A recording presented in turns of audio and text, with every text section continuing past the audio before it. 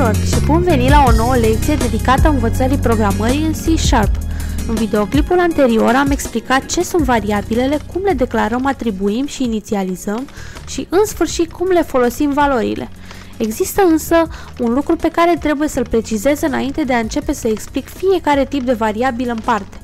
În lecția anterioară am spus că puteți numi variabilele voastre oricum doriți, dar acest lucru este valabil doar în cea mai mare parte. Există de fapt câteva cuvinte cheie rezervate în C-Sharp care fac parte din sintaxa sa și nu pot fi folosite ca nume de variabile.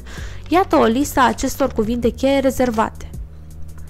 Haideți să începem explicarea tipurilor de variabile cele mai utilizate, să ne amintim din lecția anterioare că o variabilă este doar un nume asociat unei locații de memorie și că un tip de variabilă definește cantitatea de memorie necesară și operațiile pe care le putem aplica acelei variabile.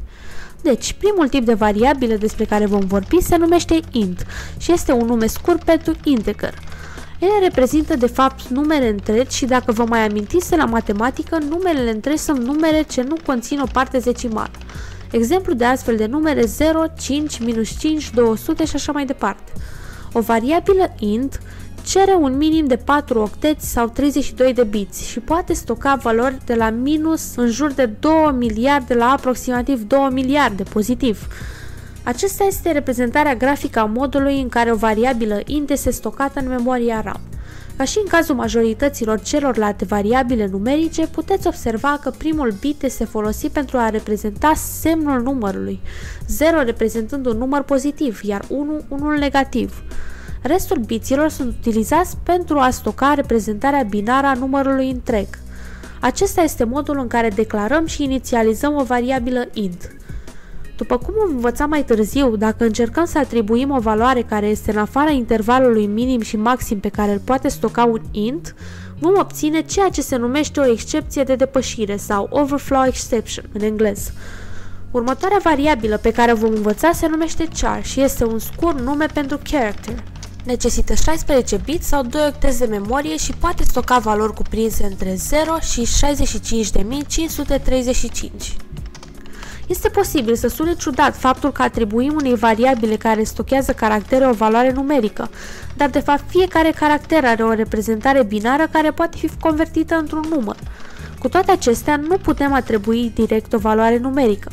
Dacă vrem să facem acest lucru, trebuie mai întâi să convertim numărul într-un caracter. Aceasta este reprezentarea grafică a modului în care un caracter este stocat în memorie și astfel declarăm și inițializăm un char atât cu un caracter cât și cu un număr. Este important să rețineți că o variabilă char, deși poate conține litere de tip text, poate memora numai un singur caracter. După cum vom învăța mai târziu, dacă vrem să stocăm mai mult de un singur caracter, vom folosi un tip de variabilă numit shear sau string în engleză. Apoi există tipul de variabilă numit float, care este un tip ce poate stoca numere reale în virgulă mobilă, adică numere negative și pozitive care au o parte fracționară. Se pot stoca numere fracționare cu o precizie de 6 sau 7 decimale, în intervalul de 3,4e la puterea minus 38 și 3,4e la puterea 38. Ca și în cazul int, compilatorul C-Sharp alocă 32 de bits de memorie pentru o variabilă de tip float. Cu toate acestea, pentru că au comportamente diferite și reprezentarea lor este diferită, după cum puteți vedea, primul bit este folosit pentru a indica semnul numărului stocat, dacă este valoare pozitivă sau negativă, în timp ce următorii 8 bits sunt utilizați ca exponent. Acest exponent reprezintă puterea la care trebuie multiplicat numărul memorat. În cele din urmă, următorii 23 de bits sunt utilizați pentru a stoca partea fracționară despre care am spus că trebuie să fie înmulțită cu exponentul de putere. Acești 23 de bits sunt numiți mantisă. De exemplu, dacă o variabilă conține valoarea 3,4e plus 38, bitul semnului va fi 0, ceea ce indică un număr pozitiv. Mantisa de 23 de bits va conține o reprezentare binară a numărului 3,4 iar exponentul de 8 viți va conține o reprezentare binară a lui 10 la puterea 38. Puteți observa că reprezentăm numere reale utilizând notația științifică.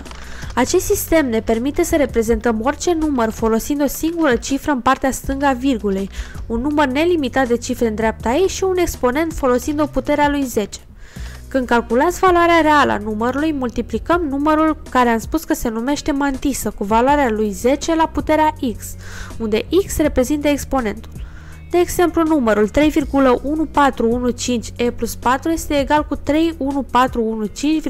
sau 3,1415 ori 10 la puterea 4. Acesta este modul în care declarăm și inițializăm un tip de variabilă float și puteți observa că adăugăm un f după valoarea numerică, deoarece dacă nu o facem, numărul va fi tratat ca un alt tip de variabilă de număr real, numită double. Double este un tip de variabilă care stochează și ea numere reale, dar cu o precizie de 14 sau 15 decimale în intervalul 1,7e minus 308 și 1,7e plus 308 este nevoie de 64 de bits sau 8 octeți de memorie pentru a stoca o valoare de tip double. Următoarea imagine ilustrează reprezentarea grafică a unui tip de variabilă double. Ar trebui să știți că tipurile float și double sunt tipuri în virgulă mobilă binară. Cu alte cuvinte, ele reprezintă un număr astfel. Numărul binar și locația virgulei binare sunt ambele codate în cadrul valorii. Decimal, pe de altă parte, este un tip în virgulă mobilă decimală. Cu alte cuvinte, reprezintă un număr astfel. Variabilele decimal necesită 128 de bits de memorie sau 16 octeți. Deoarece este un tip de valoare în virgulă mobilă decimală, stochează numere cu o precizie mai mare, dar într-un interval mai mic. Acest lucru o face cel mai frecvent tip de variabilă în aplicațiile care se ocupă cu valori financiare sau orice software în care precizia este crucială. Tipul de variabilă decimal poate stoca valori între 7,9e-28 și 7,9e plus 28. Dacă doriți ca un număr literar real să fie tratat ca decimal, utilizați sufixul m după valoarea numerică. În caz contrar, ca și în cazul variabilei float, numărul va fi tratat ca double. Următoarea variabilă din listă este o variabilă de tip byte. Un byte stochează exact ceea ce precizează numele său, un singur byte sau octet. Deci aceasta necesită 8 bit sau un octet de memorie RAM. Poate stoca valori cuprinse între 0 și 255 și atribui în valoarea numerică în mod direct. Deoarece valoarea sa minimă este 0 și nu poate stoca numere negative, nu utilizează primul bit ca bit de semn și astfel toți cei 8 biți ai săi sunt folosiți pentru a reprezenta binar valoarea numerică. Acestea sunt cele șase tipuri numerice de bază din C Sharp, de asemenea cunoscute și ca tipuri primitive. Există câteva tipuri de variabile suplimentare dedicate stocării valorilor numerice numite modificatoare de tip. Acestea sunt sbyte, ushort, uint și ulong. Ele sunt similare cu variabilele lor sinonime, cu singura diferență că s vine de la signed, în timp ce u vine de la unsigned, sau în română cu sau fără semn. Deci, atunci când spunem s-byte, înseamnă de fapt signed byte. Pe de altă parte, un uint înseamnă unsigned int și reprezintă doar un int normal, dar care folosește bitul de semn tot pentru a stoca valoarea. Acesta înseamnă că poate să stocheze doar numere pozitive, dar într-o gamă mai largă decât o valoare int normală. Oricum, nu trebuie să vă bateți capul cu acestea. Ele sunt rare ori utilizate și numai în cerințe specifice. Următorul tip de variabilă este probabil cel mai simplu dintre toate. Numele său este bool și este o denumire scurtă pentru boolean. Nu este o variabilă numerică, nu are un interval maxim, nu poate produce excepții de depășire și poate conține doar două valori, true sau false, sau în română adevărat sau fals. Sunt folosite doar în expresii logice. Acesta este modul în care declarăm și inițializăm o variabilă bool. Apoi, avem un nou tip de variabilă numit string sau în română șir sau șir de caractere. Tocmai spuneam că o variabilă de tip char poate conține doar un singur caracter.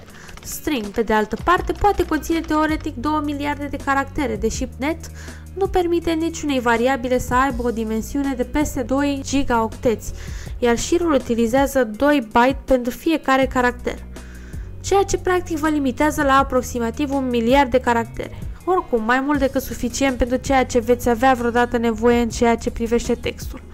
Acesta este modul în care declarăm și inițializăm o variabilă de tip string.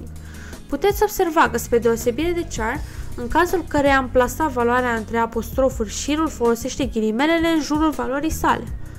Ultimul tip de variabilă despre care voi discuta astăzi se numește object.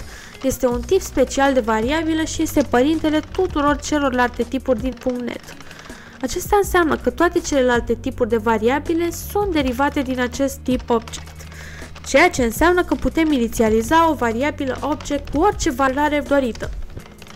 Acesta este modul în care declarăm și inițializăm o variabilă de tip object.